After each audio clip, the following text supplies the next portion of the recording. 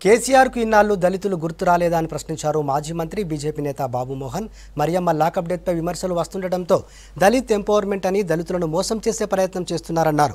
ఇసుక తరలింపును అడ్డుకుంటే దళితులను జైలుకు పంపిన ఘనత కేసీఆర్ కుటుంబానిదన్నారు బాబుమోహన్ సంగారెడ్డి జిల్లా రాయకోడు మండల కమిటీ ఏర్పాటుకు హాజరై ప్రసంగించారు. అంతకుముందు సంగపూర్ గ్రామ శివార్లోని శ్రీ రామ మందిరంలో ప్రత్యేక పూజలు నిర్వహించారు బాబుమోహన్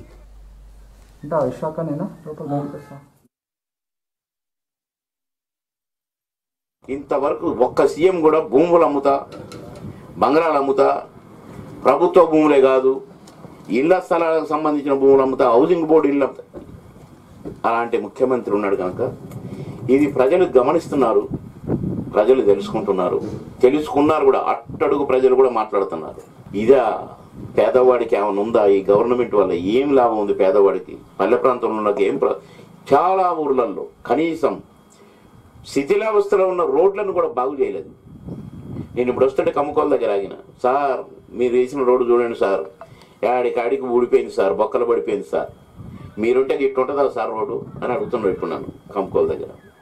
సామాన్యులుగా కూడా మాట్లాడుకునే కాడికి మన పార్టీ పోయింది. కనుక దాన్ని ఇంకా కొంచెం మనం మనిషికి ఒక చేయి వేసి మన మన గ్రామాల్లో మన మన వార్డులలో మనం ఇంకా బలోపేతానికి మంచి కార్యకర్తలను మనం తయారు చేసుకొని